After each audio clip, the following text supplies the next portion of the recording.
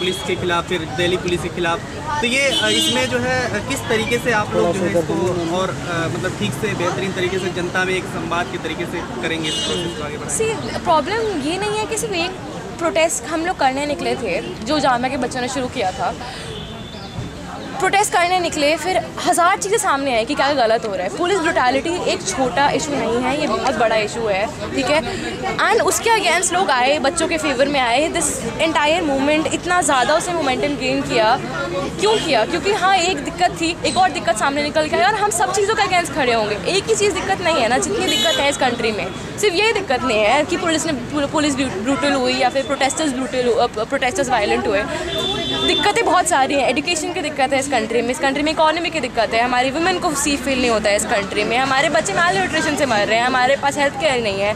हमारे पास कुछ नहीं है इस कंट्री में अभी ठीक है?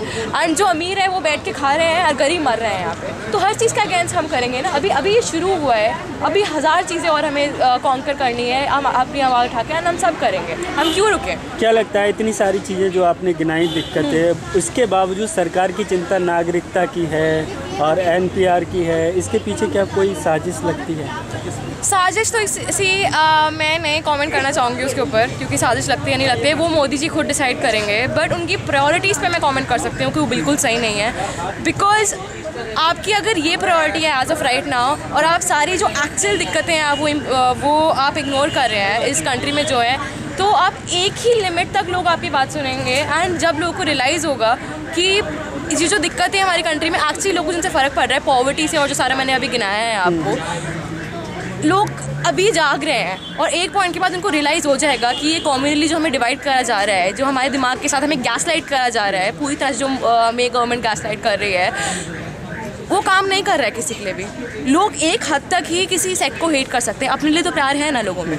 अपने आप से तो प्यार करते हैं ना। अपने आप के साथ बुरा नहीं करवाएँगे ना लोग एक लिमिट के बाद। एक हद तक ही मुझे हेट करेंगे या फिर किसी और को हेट करेंगे। अपने आप से तो प्यार करते हैं ना।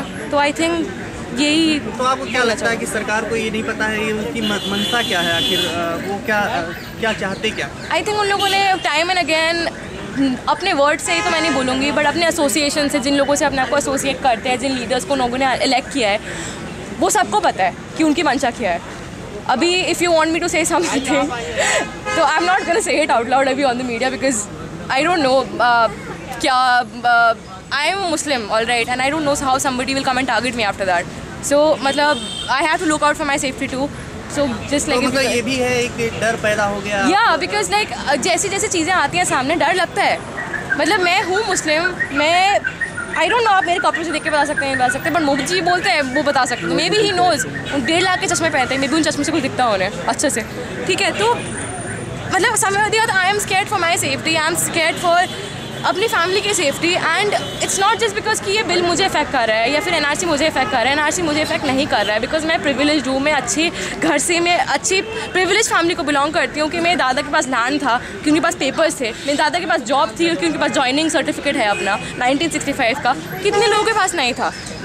कितने लोगों के पास सिर्फ़ एनआरसी सिर्फ़ मुस्लिम्स को छोड़ना वो करेगा? ये सब हर मार्जिनलाइज कम्युनिटी हर पुअर को इफ़ेक्ट करने वाला है, किसी के पास पैसा नहीं है।